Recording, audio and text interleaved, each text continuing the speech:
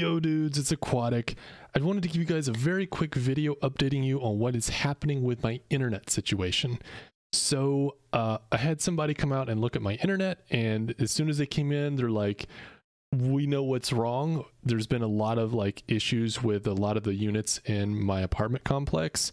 And apparently, there is some sort of terminal or something. There's some like wire system that a lot of our internets connect to that has gone bad and um, it's causing my upload speed to be unstable and to dip all the way down into less than one megabit, all the way down to nothing. Like sometimes I literally lose internet.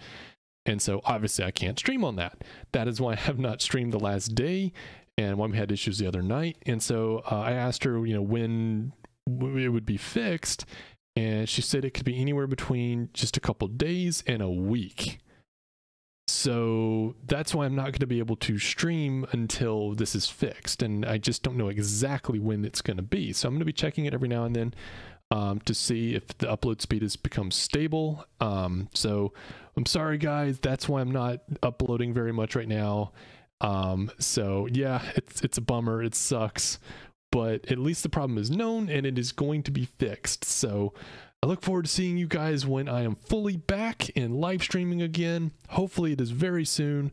So, anyway, just wanted to give you guys a heads up and uh, take it easy, everybody.